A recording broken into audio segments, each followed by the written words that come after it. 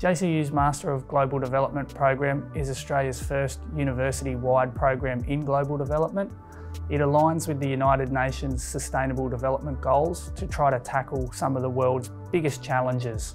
So things like poverty alleviation, a range of social justice issues, sustainability, conservation, natural resource management, uh, food security and water and sanitation.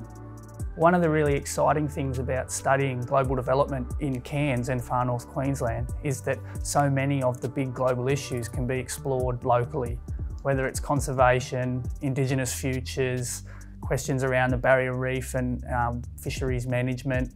All of it can be done here through field work and internships and really hands-on learning.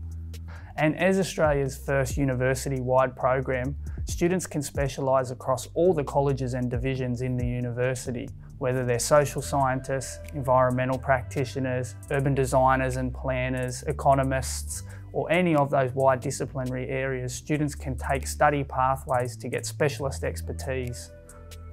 So global development requires interdisciplinary thinking and we see that in the classroom. We have students from all sorts of backgrounds bringing their different ideas together to discuss global problems from a range of different perspectives. Global problems and local problems too. Global development operates from the local to the regional, the national and then onwards to the global as well. So JCU offers three different qualifications in global development, a graduate certificate, a graduate diploma and the full master's program. All of those qualifications are available either via face-to-face -face in classroom learning on the campus or entirely online by distance learning.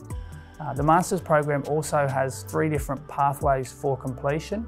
Students can undertake a range of different internship options, uh, work integrated learning. They can conduct independent research or they can complete the program simply by doing coursework. And of course, you can undertake the program with a mixture of face-to-face -face and online learning to suit your needs. A lot of our students are already working, so they need to manage their work and their study. So the Master of Global Development is a two-year program, but for those with existing expertise or relevant undergraduate qualification, there's an option to complete in one year or one and a half years.